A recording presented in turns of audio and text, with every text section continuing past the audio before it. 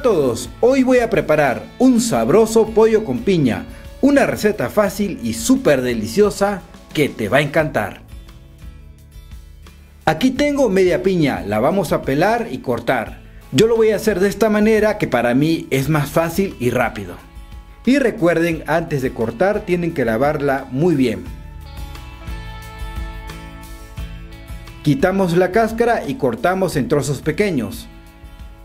Este platillo es típico de la cocina Nikkei, es una fusión de sabores muy interesante que sé que les va a fascinar.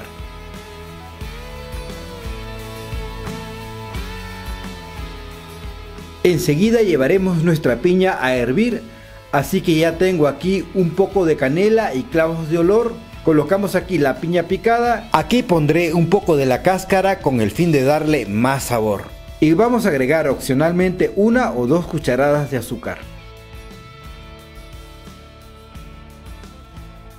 Dejaremos servir por 3 o 4 minutos y listo. Por este lado tengo muslos de pollo que cortaremos en tiras, aunque también pueden utilizar pechuga. A mí me gustan los muslos porque son más jugosos. Colocaremos sal y un poco de salsa de soya o sillao. Pimienta al gusto, puede ser pimienta negra o pimienta blanca. Colocaremos dos cucharaditas de ajos molidos. Esta receta ya la tengo publicada, igual se los dejo en la descripción para que vayan a ver cómo se prepara una pasta de ajo muy fácil.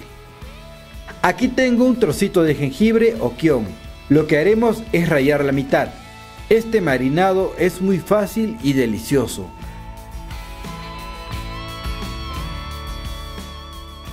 Ahora llevamos al pollo al refrigerador entre 40 minutos a una hora.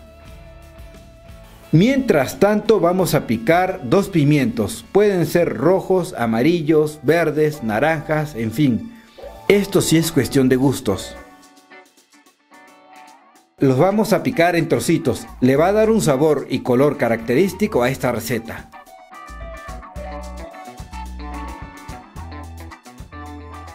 A continuación vamos a necesitar cibulet o cebolla china. Para esta receta, como casi todas las recetas que fusionan la cocina oriental con la criolla, se usa mucho la parte verde del cibulet, así que no hay que desecharlo. Aquí en México no se acostumbra mucho a comer la parte verde, así que se los dejo a su elección. El cibulet es más discreto, caracterizándose por ser más suave y delicado con sus notas aromáticas, y le da un toque especial a esta receta. Voy a cortar de manera sesgada y reservaré para la parte final de la receta.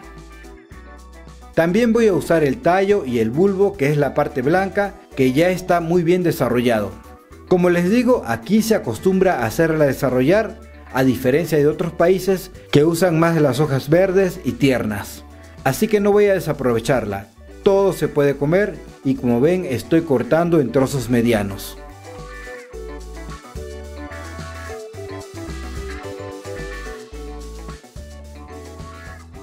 En un recipiente colocaremos un poco de fécula de maíz o maicena. Agregamos aquí el pollo que ya está marinado, cubrimos muy bien y aquí hay quienes lo pasan por huevo batido, hay quienes no.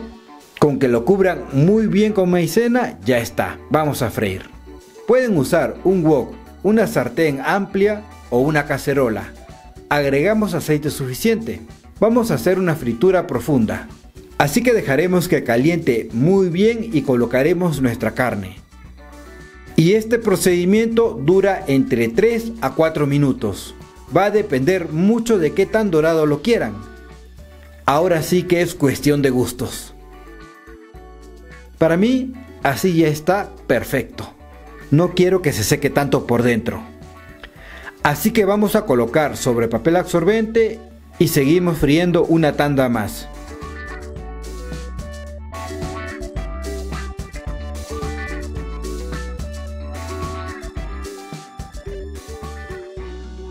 Usaremos el mismo aceite si lo desean para saltear las verduras. Colocamos el cibulet o cebolla cambray, una cucharadita de ajo molido. Aquí voy a agregar la mitad de jengibre que reservé. Usaremos un rallador o también lo pueden colocar licuado. Agregamos los pimientos y también un poco de ketchup. Una o dos cucharadas es suficiente.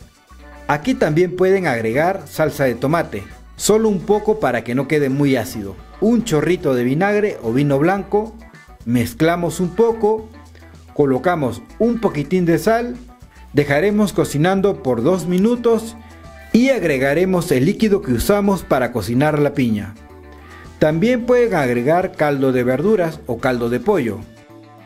Y ahora sí agregamos nuestros trocitos de piña y recuerden que tienen que quitar la canela y el clavo de olor. Por este lado en un poco de agua colocaremos una cucharada de fécula de maíz o maicena. Vamos a disolver muy bien. Este va a ser el espesante que le va a dar textura a nuestro sabroso pollo con piña.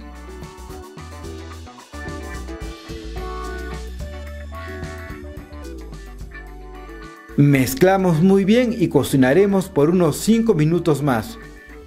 Luego de este tiempo colocaremos un chorrito de salsa de soya y para finalizar nuestro pollo. Dejamos cocinar por un minuto más y listo apagamos el fuego y ya tenemos esta deliciosa receta. Servimos acompañado con un poco de arroz como debe ser para esta preparación. Esta es una receta fácil que lo puedes hacer en casa sin ningún problema y vas a ver que te va a cautivar. Y de esta manera vas a variar tu repertorio culinario. Colocamos finalmente el cibulet y un poco de ajonjolí. ¡Qué chulada de platillo! Se ve buenazo.